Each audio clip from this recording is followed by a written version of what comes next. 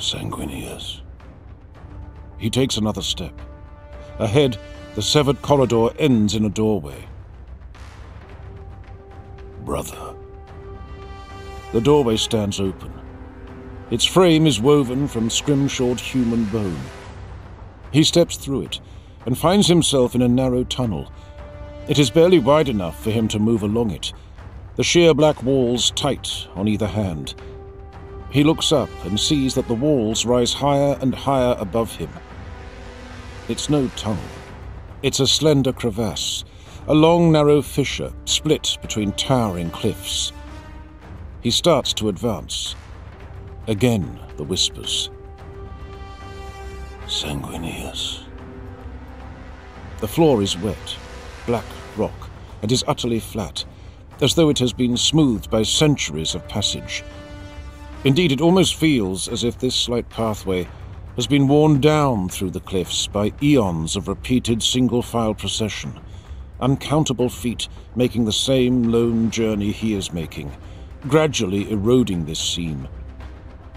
Impossibly high above him, he can see the sky, a narrow river of night sky and stars beyond the cliff tops that mirrors the path he treads. At last, he steps free into the open beyond. The Lupercal Court is a vast space of fluted columns, with arches springing from the imposts to create a soaring ribbed ceiling. The floor is polished stone.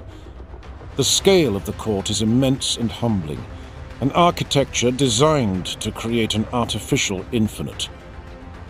Sanguinius is just one tiny mote of gold and white in an impossible, soaring cathedral of obsidian and black marble. Such a chamber could not and should not exist on the Vengeful Spirit. The light here, viscous and heavy, is a dull crimson glow. Welcome, brother. At last. He thinks for a moment that the room itself has spoken, but part of it moves. Part of the stupendous Gothic grandeur turns to look upon him. Horus Lupercal smiles.